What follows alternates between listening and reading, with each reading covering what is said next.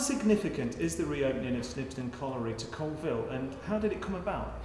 It's incredibly significant to Coalville. I mean, this is, this is a monument to the mining industry. The Leicestershire coalfield and South Derbyshire coalfield were incredibly important from the 19th century right up to the, uh, the 1990s.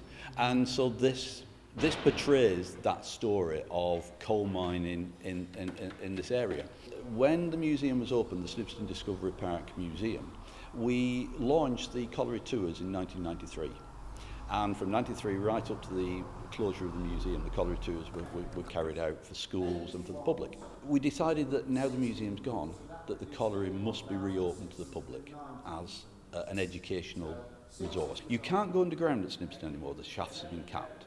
But you can see how a coal mine in the 1960s, 1970s and 1980s was operated when it was a super pit because this was one of the first pits to turn a million tonnes of coal a year. My background is I've had 25 years underground.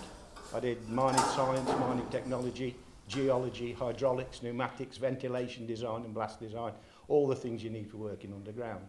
This room is the control room and this is the main hub of the mine. Everything in this mine is controlled from this room.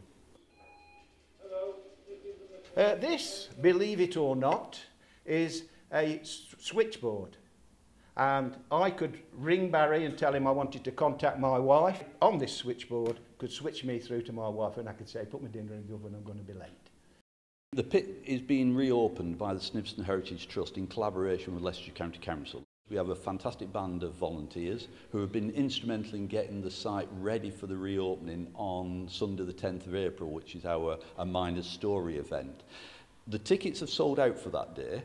Uh, they sold out incredibly quickly within two days, which really surprised everybody how much demand and interest there is in seeing the historic, you know, the mining history, the mining heritage. Uh, so what we've now we've planned a series of, uh, of colliery tours starting on the 8th of May through to August. The tickets will be uh, published in the next few weeks and they'll be available through Eventbrite uh, and various other sources.